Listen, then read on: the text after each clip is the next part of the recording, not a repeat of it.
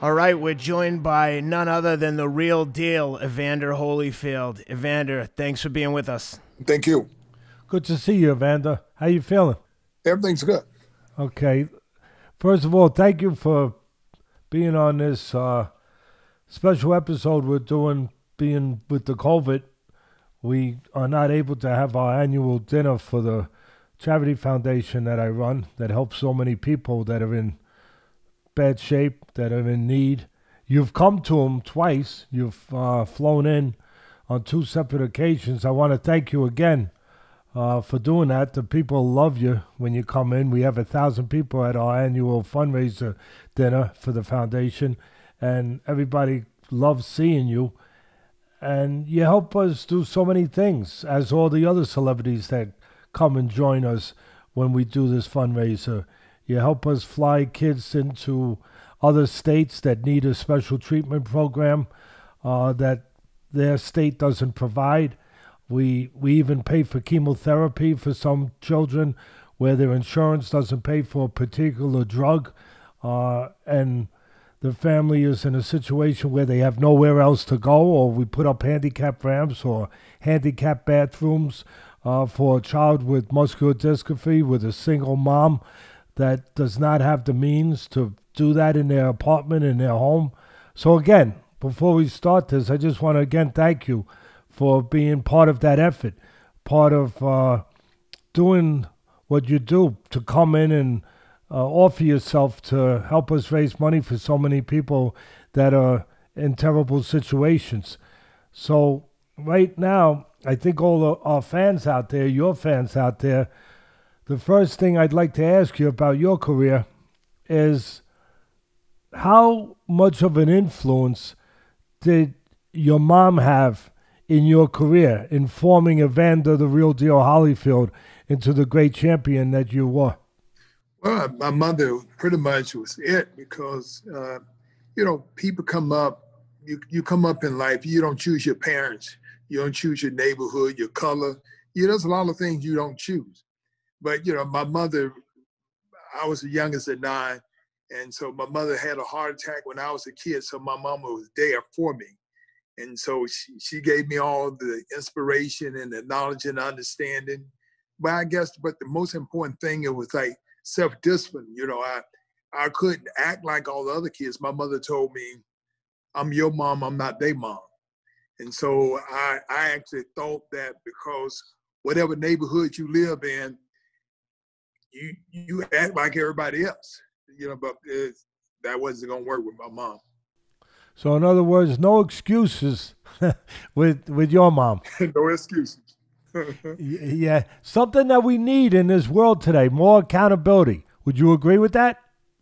I, I definitely agree with it because I, I know accountability is the is the key to everything. Because my mother used to tell me, uh, if you don't get no bad habits, you ain't got to worry about breaking them so you know, it's a lot of things that I I didn't do because she didn't let me do it, and so I didn't never have to break the bad habits that a lot of other people had to break. That's a hell of a way to put it, and a correct way to put it, and hopefully a lot of people will take from that what they should take from it. My other question, I would say, Evander, every fighter on their way up. I mean, I I laid it out pretty good. You were the greatest cruiserweight of all time. Uh, should have been an Olympic gold medalist on your way to that uh, before that was stolen from you. Uh, great three time heavyweight champ. There's always a, a fight that forges you, that really brings you to that next level, that answers the questions that have to be answered in your mind of that you you belong, that you can be special, out of all these fights on your way up, what was the one fight that you would say formed you for the future? I would say the fight with Dwight Muhammad Qawi, my first my first championship fight as a cruiserweight. You know, I weighed about 184 pounds, and I was going with a guy who had been champion two times, and you know, and I had never been past eight rounds. And so I go into a eight round to 15 round. And uh, I made it. Yeah, you sure did. That was a great fight. I knew you were going to say that, by the way. Uh, I, I, I knew that was going to be the one because you could see it as you watched the fight that it was a fight that took you to new places, uh, that let you know that you belonged in those places, that you could handle things that you really had no way of knowing whether or not you could handle them up until that time. Who's the hardest puncher you ever faced? Ah, George Foreman. Wow, Big George, baby. Yeah, Big he George.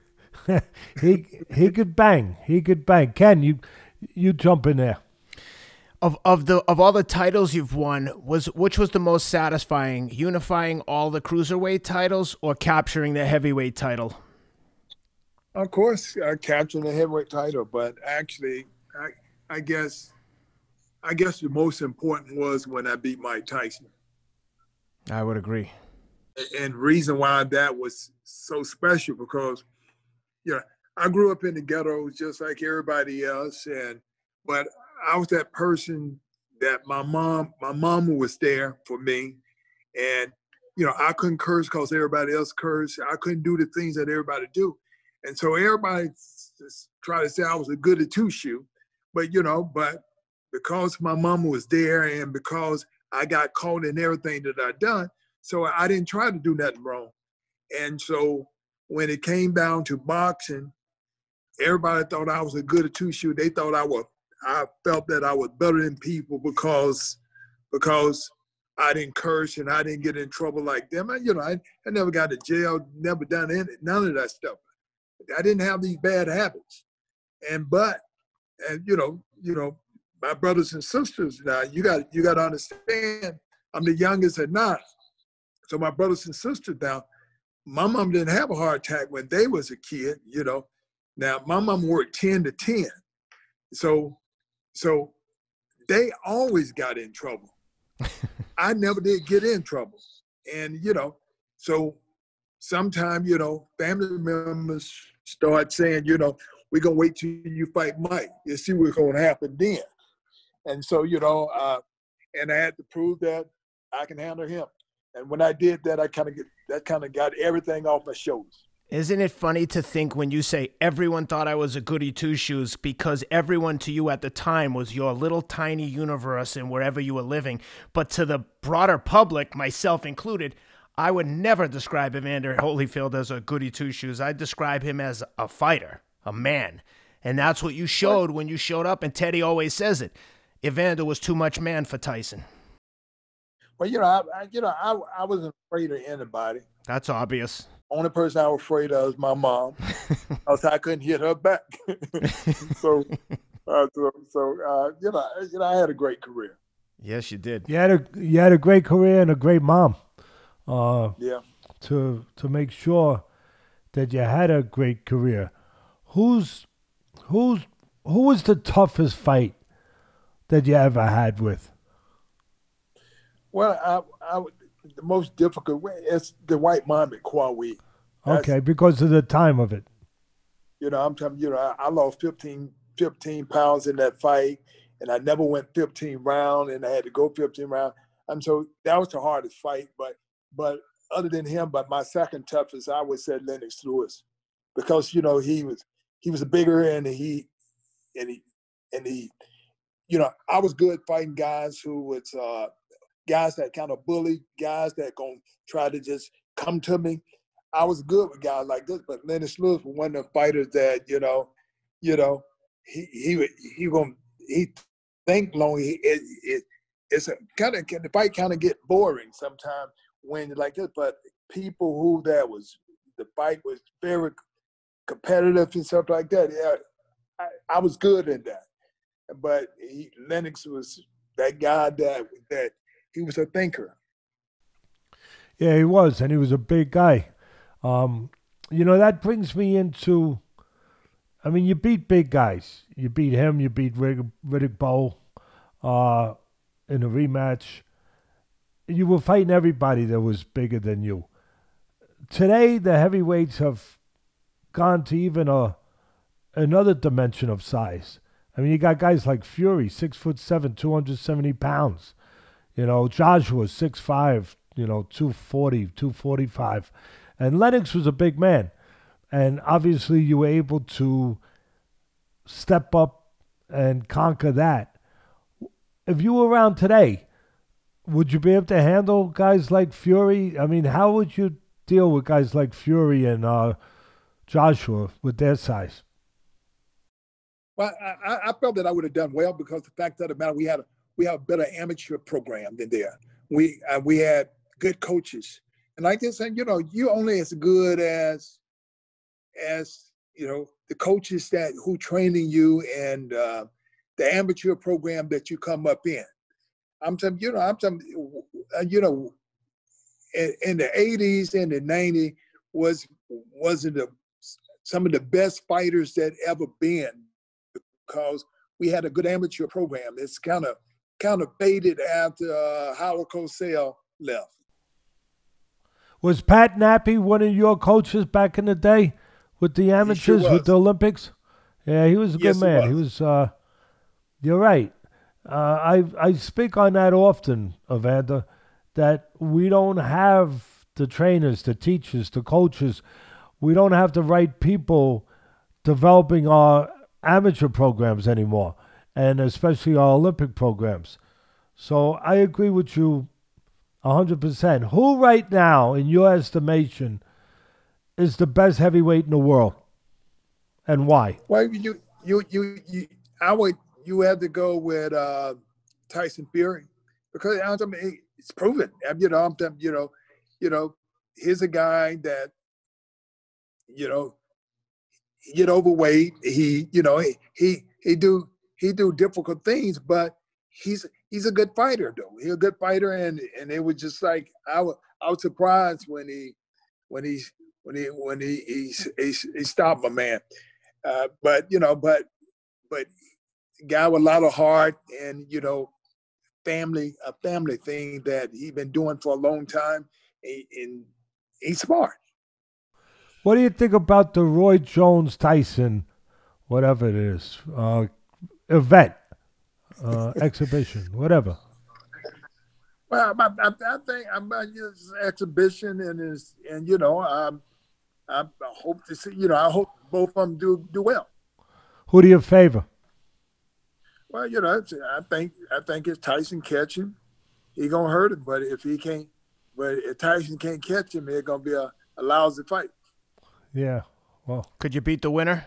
Well, you know, I, I my whole thing I wanted to do an exhibition. Now, see, I didn't want to go twelve and all this, and you know, four rounds. I'm, I'm I'm that guy. My whole thing is I just want to do something short. But only reason why I wanted to do it because the point of the matter is to tell and to tell the young people, being able to tell young people if you take care of yourself. And so, you know, I have really have taken care of myself. There's a lot of bad habits I didn't have. And, you know, so my body, I'm still strong. I'm, I can still do pretty much, I can do 70% of the stuff I used to be able to do. I can do it. And like that, you know, I'm, and I'm, I'm, I'm in good shape. You look good. Thank you. yeah, you you always look good. Evander, speaking about what you just talked about, teaching the young people, showing the young people to take care of themselves.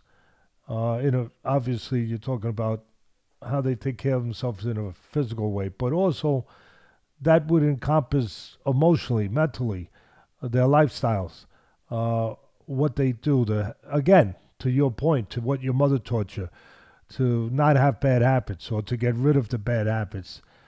I want to again just say thank you because that's what this that's what this conversation and what this interview is all about.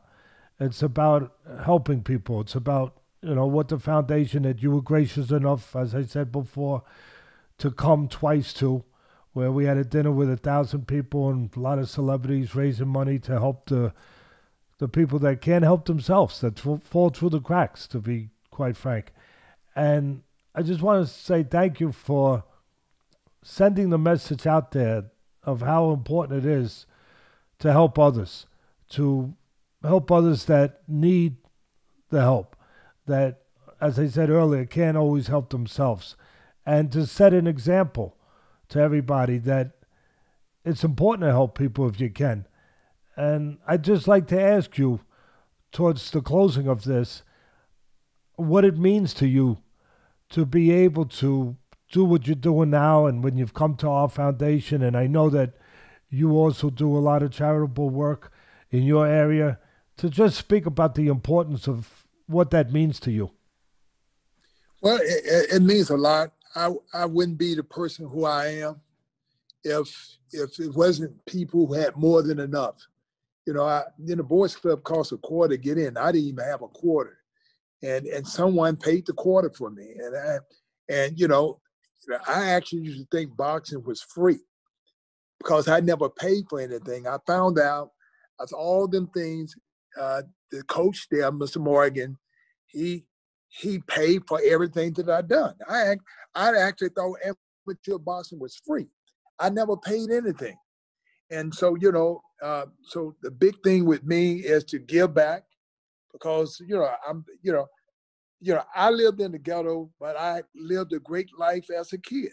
I, you know, I went so many places. I traveled many places, and you know, you know, my parents, my parents didn't read, and so I, my father didn't read, my mom didn't read, and all this and stuff like this. And so I was, I was pretty much upset and embarrassed a lot of time because I didn't have the knowledge and I didn't have the money. But my mama said, just pay attention and work hard, outwork people. And so, you know, so, you know, my job was to listen, follow direction, and not quit. Those are three things that my mama told me that would allow me to be successful. Well, you listened to her, and I'm glad you listened to her. and a lot of people out there are glad you listened to her. And thank you for that message. Thank you for giving that message to so many people out there, so many kids out there that are lost and that need to hear that message. Uh, and also for showing how important boxing can be to develop young people if it's done the right way, if it's in the right hands, in the right responsible coach's hands, where you can take a kid who might not be sure of where he's going and give him the confidence, give him the discipline, give him the tools that he needs to conquer the world, whether in the ring or outside the ring. And you're a perfect example of that of why boxing, when done right, is important. It develops young people into men. And I just want to thank you for that and thank you for the time that you gave us today. Uh, you're welcome.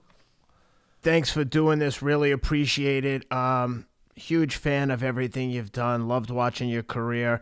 Uh, would love to see you fight the winner of Roy Jones and uh, Mike Tyson, if even in just an exhibition. Just love to get one more look at you in the ring. But um, yeah, thanks. Really appreciate it. Thank you, Evander. Well, thank you.